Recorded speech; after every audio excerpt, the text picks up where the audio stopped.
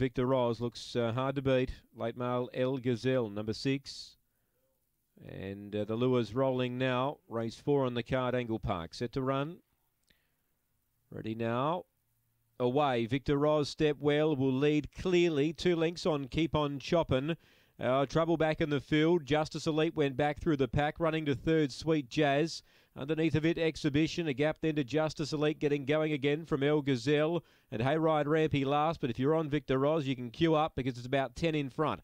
Victor Roz is going to annihilate them. Great go, the Miners. Flashing home exhibition, I think. Grab Keep On Chopping uh, for second, uh, which relegate Keep On Chopping to third. Photo fourth. Sweet Jazz or Justice Elite. And behind them, Hey Ryan Rampy with El Gazelle. And that's been a absolute space job. 22.20 the time. Victor Roz. Two second exhibition. Gee, it found the line. Eight third, keep on chopping. Seven fourth, sweet jazz. One two eight seven. 22.20 new PB for Victor Roz.